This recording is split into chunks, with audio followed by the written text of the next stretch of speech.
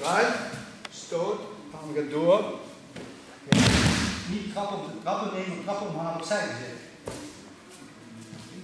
Nu pak.